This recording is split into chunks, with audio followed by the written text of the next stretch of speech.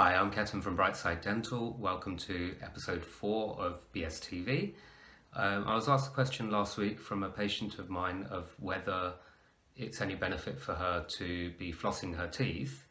The reason for that was there, there's been a number of uh, articles in the media recently saying that um, there's no benefits of flossing.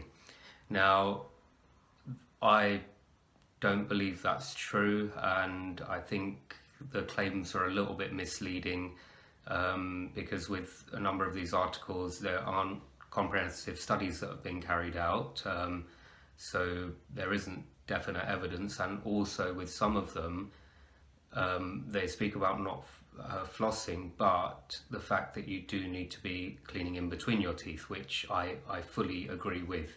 So my personal opinion is that you definitely need to be doing something to clean in between your teeth because however well you're brushing, um, however good your uh, toothbrush is, like for example, this is a top of the range Oral-B toothbrush which costs up to 150 pounds.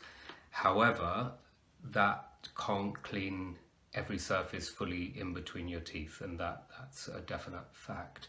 So um, my advice is that either you need to be flossing and this applies largely if you have quite teeth that are quite close together or small spaces between your teeth.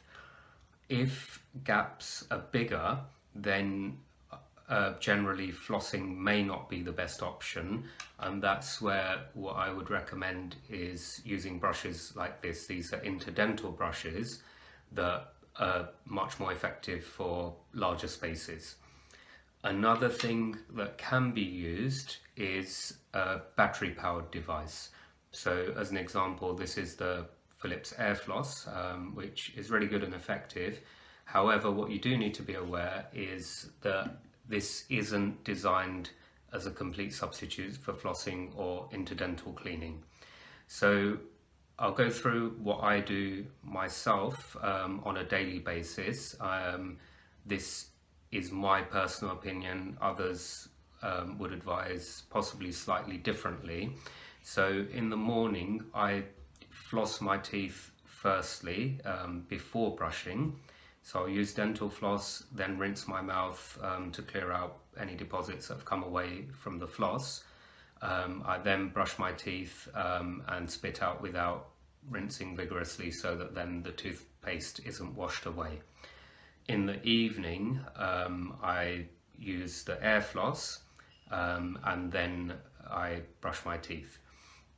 What I will do in a um, future video is go through the techniques for using floss and interdental brushes correctly because that's another big factor because if you're not using it in the right way one it won't really be beneficial for you and also it could actually cause damage to your gums. So it's really important to use these things in the right way.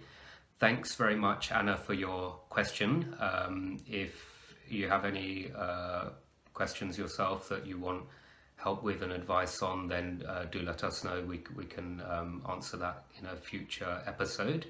And tune in next time for more um, information about the practice and tips to help you improve and maintain your oral health.